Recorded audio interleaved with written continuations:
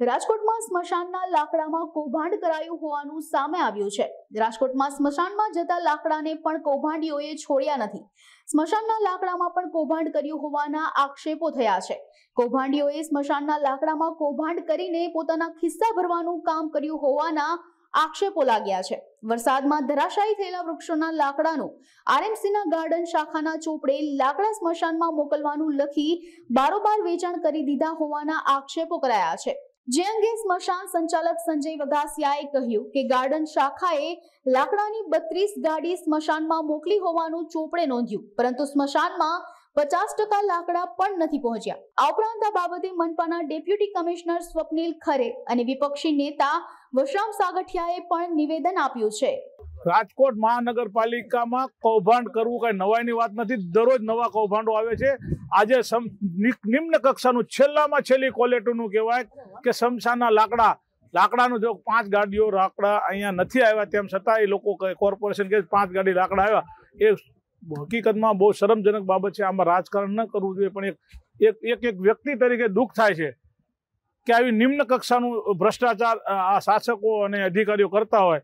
ત્યારે આપણને શરમ પણ લાગે છે અને દુઃખ પણ થાય છે કે કમસે કમ શમશાનને તો છોડો.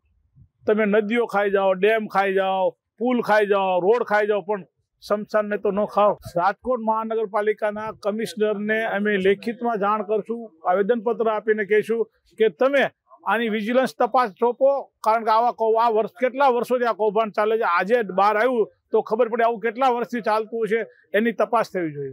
સંજયભાઈ વગાસિયા હું સંચાલક કરું. ઓપરેશન ઉપવાપ હોય તો અમને દઈએ. છઠ પછી પંદર દી પહેલાનો. કે અમે અહીંયા નાખી ગયા લાગે તો મને પુરાવો દઈએ. પણ છઠ પછી તો શમશાન જ સાતમ નદી ડૂબેલું હતું. અમે ખુદ નહોતા આવી નહોતા હતા અહીંયા.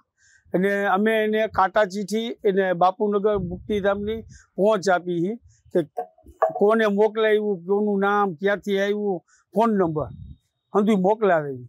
આ કોઈ અમને બતાવે તો અહીંયા કરી જાય કન્ફર્મ અને આ જી છે એ લાકડું એ અમારે વર્કશોપનું હે ગોંડલ રોડ ઉપર.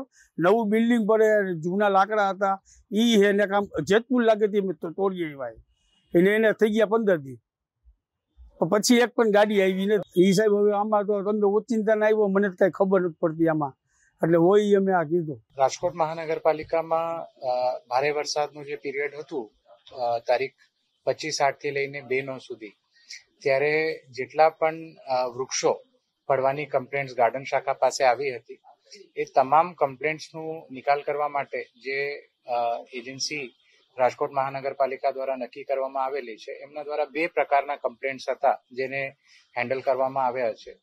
પહેલી ટાઈપની કમ્પ્લેન્ટ છે જે મોટા ઝાડો પડી જવાની કમ્પ્લેન્ટ છે અને બીજા પ્રકારના ઝાડો કમ્પ્લેન્ટ છે જે નાની જે ડાળીઓ હોય છે કે ટહેનીઓ હોય છે, એનું નિકાલ માટેની કામગીરી. તો જેટલા પણ મોટા ઝાડો પડવાની કમ્પ્લેન્ટ્સ આવતી હોય છે, એ તમામે તમામના જ્યારે પણ નિકાલ કરવામાં આવે છે, તો આ તમામ મોટા જે ઝાડો છે, એનું જે ડિપોઝિટ છે, એ ત્યાં કરવામાં આવે છે, શમશાનમાં અને શમશાન તરફથી એક રસીદ એમને આપવામાં આવે છે.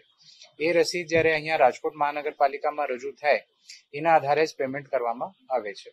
ત્યારે વિભિન્ન મીડિયા તરફથી અમને એવા સમાચાર મળ્યા છે કે અમુક જે ઝાડો છે, એનું નિકાલ પ્રોપરલી કરવામાં આવ્યું નથી અને શમશાન સુધી આ બધી જે ઝાડો છે એ પહોંચાડવામાં આવ્યા નથી. તો એવા તમામ કમ્પ્લેન્ટ્સને અમે ખૂબ ગંભીરતાથી લઈએ છીએ અને જે પણ પેમેન્ટ એજન્સીને કરવામાં આવશે તમામે તમામ પેમેન્ટ ફક્ત જે શમશાનમાં ડિપોઝિટની રસીદો છે એના આધારે જ એ ફેરાઓનું પેમેન્ટ એમને કરવામાં આવશે.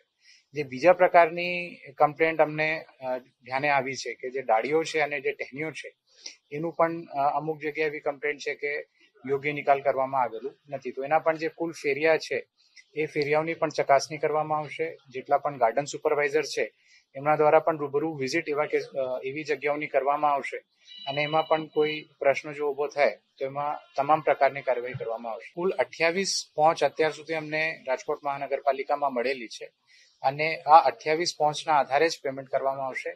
અન્ય જે પણ બિલ્સ વગેરે રજૂ કરવામાં આવશે, એ ચકાસવામાં આવશે. અને જો એ બિલ્સમાં દર્શાવેલા ફેરિયા શમશાન સુધી પહોંચ્યા ન હોય તો એનું પેમેન્ટ નહીં કરવામાં બિલકુલ. તો આવું કોઈ પ્રશ્ન જો ધ્યાને આવશે, તો આ તમામની ચકાસણી કરવામાં આવશે અને એમાં કોઈ પણ ગેરરીતિ ધ્યાને આવશે તો તમામ પ્રકારની કાર્યવાહી એજન્સી વિરુદ્ધ કરવામાં આવશે. હા એ વિગત જે છે અમે આપના સાથે શેર કરશું કઈ કઈ પહોંચવા અમારી પાસે અત્યાર સુધી આવેલી છે. અઠ્યાવીસની વિગતો આપના સાથે શેર કરવામાં આવશે. બે એજન્સીઓ છે કારણ કે ઝોન વાઇઝ એજન્સીઓ રાખવામાં આવે છે. સોમનાથ એજન્સી છે અને જય કન્સ્ટ્રક્શન એજન્સી છે. આ બે એજન્સીઓ દ્વારા કામગીરી કરવામાં અત્યારે અઠ્યાવીસ રસીદ જે છે અમને અ, શમશાન તરફથી મળી છે. તો આ એવી રસીદો છે જેમાં શમશાને વેરીફાઈ કર્યું છે કે ભાઈ ખરેખર આ અમારા શમશાનમાં પહોંચ્યા છે એના આધારે એ લોકોએ આ રસીદ જનરેટ કરી છે. છતાં, નહીં, છતાં જે આ છતાં જે મેટર છે એની સેન્સિટિવિટીને ધ્યાને લેતા અમે આ તમામ અઠ્યાવીસ રસીદોની પણ ચકાસણી શમશાનો પાસેથી કરાવશું કે ખરેખર એમના પાસે આ ટ્રેક્ટર પહોંચ્યા છે કે નથી. આના આધારે જ અમે આગળની કાર્યવાહી કરશું. જે એમને કન્ડિશન રાખવામાં આવી હતી એ જ હતું કે એમને રાજકોટ મહાનગરપાલિકાના જે વિભિન્ન સમશાનો છે, એમાં એમને ડિપોઝિટ કરવાનું થાય છે. ગાર્ડન શાખાની ભૂમિકા એમાં ઓવરઓલ સુપરવિઝનની રહે છે અને ગાર્ડન સુપરવાઇઝર ત્રણેક ઝોનમાં એક એક હોય છે. એમને ઓવરઓલ જોવાનું થાય છે કે તમામ વૃક્ષોની જે કમ્પ્લેન્ટ્સ આવે છે, એનું સમયસર નિકાલ કરવામાં આવે અને જે લોકો છે એમને કોઈ મુશ્કેલી ભોગવવી ના પડે. સાથે સાથ આ એજન્સીઓ ને દ્વારા જે બિલ્સ રજૂ કરવામાં આવે છે, એની પ્રોપર ચકાસણી અને કેવી રીતે નિકાલ કરવામાં આવે છે, એ પણ એમના દ્વારા જોવામાં આવે છે. આમાં કુલ જે વૃક્ષોનું નિકાલ આ પીરિયડમાં થયું છે, વૃક્ષો અને ડાળીઓનું, એમાં ડાળીઓ પણ ઇન્ક્લુડેડ છે, કારણ કે ડાળીઓ જે છે એ શમશાનમાં જતી નથી. તો કુલ સાથેનો જે આંકડો છે, છસો બે નો આંકડો છે. એનું જે ડિટેલ્સ છે, એ અમે આપના સાથે શેર કરશું.